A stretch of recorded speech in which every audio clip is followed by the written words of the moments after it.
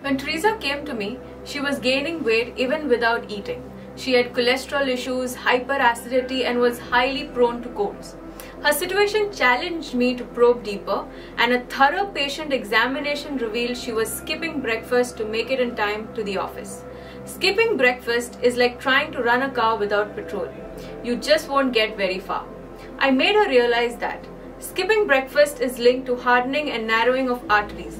It causes bloating, it increases cortisol that suppresses immune system function. Thankfully today, Teresa enjoys her breakfast and good health. Do you also not have time to make your breakfast?